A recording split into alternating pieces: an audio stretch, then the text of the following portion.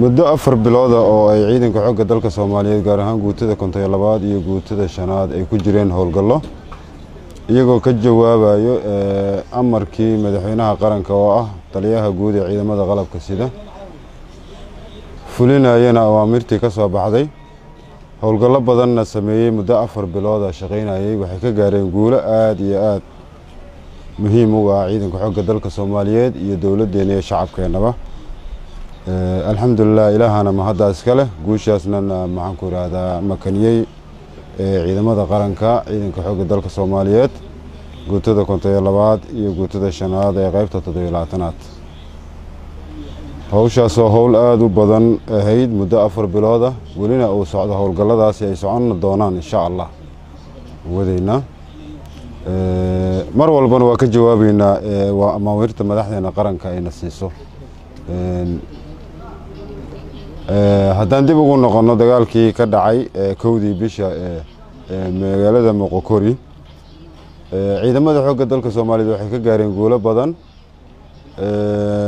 Muddo saddex iyo labaatan maalmoodana waxay deganaayeen moqokori oo ay hadda xeelad dagaal iyo maxaan ku ihahdaa ay uga soo baxeen. Alqaacidada nimanka argaxisadana jab weyn ayaa ku gaaray halkaas. Guul weynna waa laga gaaray ciidanka xoogga dalka soomaaliyeedna wuxuu aqoonsaday awoodda uu ilaahay siiyey iyo inuu maxaan ku ihahdaa degi karo. Goob walba oo cadowgu degan yahayna ka ceyrin karo degina karo joogina karo. Ha waxaa ka mid a moqokori waxaa ka mid a miircadde waxaa ka mid a maxaan ku ihahdaa meesha la yihahdo yasoman waxaa ka mid a faridood waxaa ka mid a ilaa deegaanadaas oo dhan gacantaa lagu hayaa ilaa mubax wax dhibaho hadda ka jiraana ma jiraan cadowgu meelahu soo galgalaaho waa soo meermeereystaa waa dhuudhuuntaa miino ou dhiga iyo kooxo meelaha laga soo aruursho markay afar boqol iyo saddex boqol oo leesuka keeno gobollada siddeed iyo tobanka gobol laga keenay. Markuu meelaha keeno meelo weerweerara. Wax dhibaha anaga nooguma fadhida taas.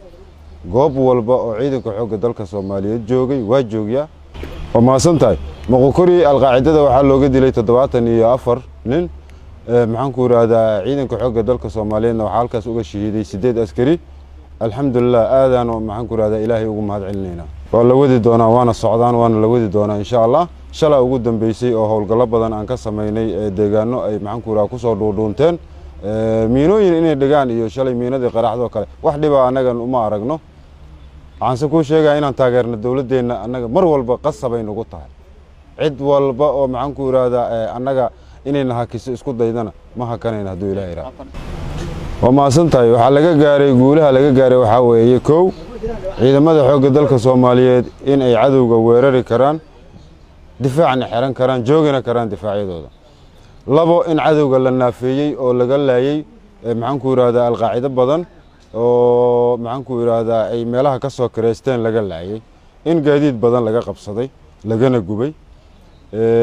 Shacabkii soomaaliyeedna waxaa la tusay ciidanka xoogga dalka soomaaliyeed inay yihiin ciidan soo barbaaray shaqayn karana insha allah